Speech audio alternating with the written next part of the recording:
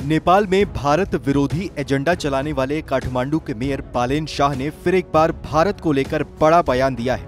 भारत विरोधी बयान देकर सुर्खियाँ बटोरने वाले बालेन शाह ने दावा किया है कि नेपाल के पीएम पुष्प कमल दहल प्रचंड की कैबिनेट में शामिल कई मंत्री भारत के इशारे पर फैसले लेते हैं। इतना ही नहीं बालेन शाह ने पीएम पुष्प कमल दहल प्रचंड पर भी भारत की गुलामी करने का आरोप लगाया है।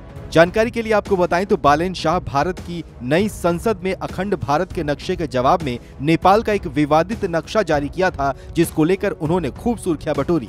बालेन शाह ने अपने नक्शे में भारत के कई हिस्सों को नेपाल की सीमा के अंदर दिखाया था और अब उन्होंने एक पोस्ट किया है, जिसमें उन्होंने आरोप लगाया है कि नेपाल की सरकार में शामिल कई सांसद कथित रूप से भारत के इशारे पर चलते हैं। उन्होंने कहा है कि भारतीय गुलाम देश की सरकार को चला रहे हैं। दरअसल नेपाल के प्रधानमंत्री ने हाल ही में एक ऐसा बयान दिया था, जिसकी वजह से नेपाल में बवाल हो गया। और नेपाल की संसद से लेकर सड़क तक पर नेपाल में विपक्ष ने पुष्प कमल दहल प्रचंड का विरोध शुरू कर दिया और विपक्ष ने प्रधानमंत्री के इस्तीफे की मांग भी शुरू कर दी।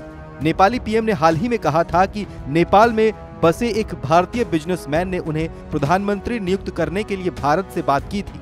उनके इस बयान पर नेपाल का विपक्ष भड़क गया और कह रहा है कि नई दिल्ली की तरफ़ से नियुक्त किए गए प्रधानमंत्री को पद पर बने रहने का कोई अधिकार नहीं है। नेपाली प्रधानमंत्री प्रचंड के विवादित बयान का वीडियो सोशल मीडिया पर वायरल है, जिसमें वो नेपाल में छह दशकों से अधिक समय से रह रहे भारतीय बिजनेसमैन सरदार प्रीतम सिंह को लेकर एक कार्यक्रम में बोल रहे थे। प्रचंड ने कहा कि सरदार प्रीतम सिंह ने भारत नेपाल रिश्तों को मज़बूत करने में अहम भूमिका निभाई है। आपको बताएँ तो चीन ने नेपाल की राजनीति में दखल अंदाजी शुरू कर दी है। चीन चाहता है कि नेपाल में भारत का प्रभाव कम हो और चीन का प्रभाव बढ़े।